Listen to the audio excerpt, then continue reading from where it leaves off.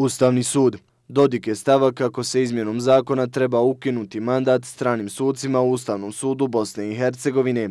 Čović navodi kako građani Bosne i Hercegovine moraju biti u poziciji da popunjavaju mjesta u Ustavnom sudu Bosne i Hercegovine. Izetbegović je potvrdio kako neće podržati donošenje bilo kakvog zakona o Ustavnom sudu Bosne i Hercegovine, kojim bi se mijenjale nadležnosti i sastav Ustavnog suda. Upitnik i mehanizam. U Bosni i Hercegovini još uvijek nema jedinstvenog gledišta na osnovna pitanja poput broja stanovnika.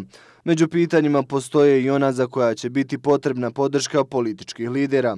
Također, otvoreno je mogu li tri strane zapravo učinkovito usvajati pravnu stečevinu koristeći mehanizam koordinacije. Sejdić Finci, status kandidata kako stvari stoje, nećemo moći dobiti bez provođenja presude Sejdić Finci, što nas dovodi do treće teme oko koje lideri nemaju jedinstveno stajalište. Prema Čoviću, naša zemlja ima dvojaku obavezu.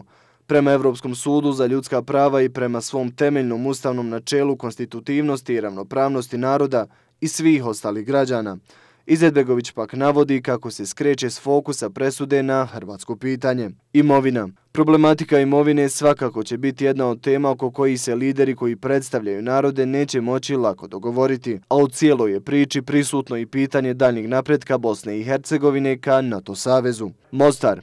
Tema koja će svakako opterećivati buduće koalicijske odnose u federaciji, a na posebna relaciji HDZ i SDA je pitanje promjene izbornog zakona, a posebice u kontekstu različitih viđenja oko grada Mostara.